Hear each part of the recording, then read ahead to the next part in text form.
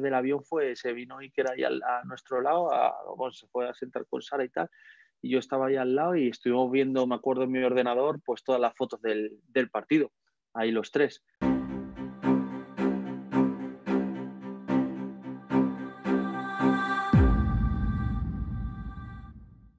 Bueno, hemos dicho, estuviste en la Eurocopa 2008, eh, en el Mundial de 2010, eh, un recuerdo que, tengo yo en la cabeza es la fiesta que se produjo en el avión.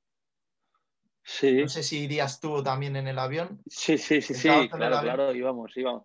Yo tengo ahí la foto de que iban con, un altavoz, iba Reina, Xavi Alonso, Villa, iban con un moco muy serio, una borrachera. Yo me acuerdo que ahí yo en ese viaje era un viaje muy largo y nos fuimos justo después del partido como si fuera un partido normal y yo estaba reventado y, iba sentado al lado de...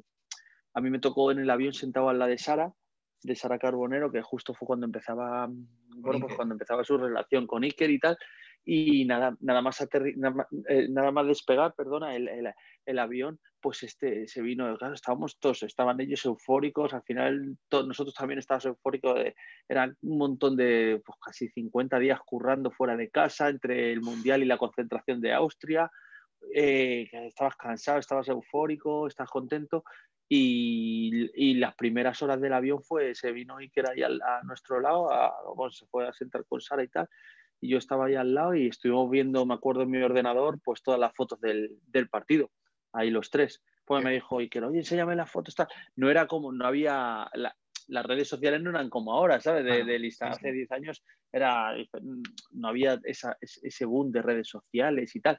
Y entonces, bueno, pues las estuvimos viendo ahí las fotos, oh, tal, mira, ahí la parada de Robén, el, el gol de Iniesta, tal, la celebración, levantando la copa, tal, no sé qué, sí. De hecho, 10 años después, pues eh, pues me, me, me, escribían, oye, ¿me puedes pasar una foto? Depende de los partidos, pues eso, me escribía David de Sevilla, ¿me puedes pasar una foto de, de Chile de cuando metí el gol, los goles, tal? Eh, pues Fernando Torres, lo mismo, ¿sabes? Te iban, te iban escribiendo porque al final son recuerdos que son, joder, son imborrables.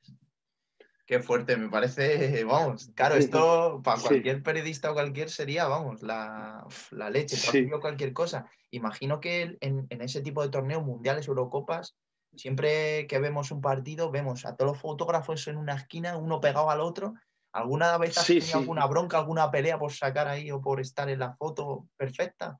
Eh, no, no, no, no, no, no, no, no. Yo me llevo bien con la con los compañeros. No, no he tenido nunca problemas de ese tipo. Es cierto que, son momentos de mucha tensión, somos muchos fotógrafos y todos queremos tener o hacer la misma foto. Eh, y hay veces que, pues eso, pues sobre todo en la entrega de trofeos y tal, que hay mucha tensión, hay, hay veces que pues no te das cuenta y, te empuja uno o empujas tú a otro sin... Eh, no, no, pero no con mala intención, pero sí hay mucha tensión, pero no, de ahí a tener, no, no he tenido nunca, yo me llevo bien con la, generalmente me llevo bien, algo luego te empiezan a escribir y te dicen, Buah, este es un cabrón que flipa, no, no, pero, pero vamos, yo me llevo bien, yo me llevo bien.